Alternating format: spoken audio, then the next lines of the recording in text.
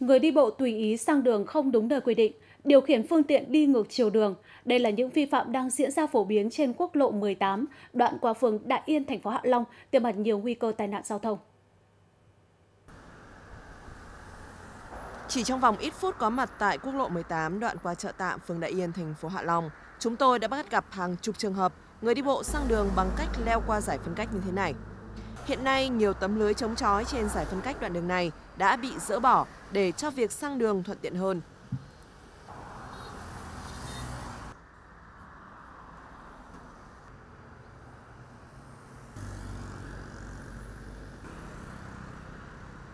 Nói chung là ảnh hưởng quá nguy hiểm đối với những người lái xe như tôi. Không chỉ tình trạng người đi bộ sang đường không đúng nơi quy định, quốc lộ 18 đoạn qua phường Đại Yên cũng là đoạn đường thường xuyên xảy ra tình trạng người điều khiển mô tô xe máy đi ngược chiều đường, không chấp hành quy định đội mũ bảo hiểm. Từ đầu năm đến nay, hàng trăm trường hợp đã bị các cơ quan chức năng xử phạt, song các vi phạm này vẫn diễn ra phổ biến. Trong thời gian tới, đội cảnh sát giao thông số 2 chúng tôi sẽ tích cực tuần tra kiểm soát và xử lý nghiêm những trường hợp vi phạm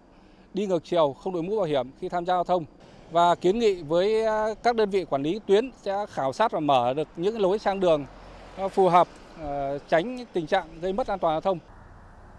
Ngoài việc bị phạt hành chính, người đi bộ sang đường không đúng nơi quy định, người điều khiển phương tiện ngược chiều đường còn có thể bị truy cứu trách nhiệm hình sự nếu gây ra tai nạn giao thông có hậu quả nghiêm trọng.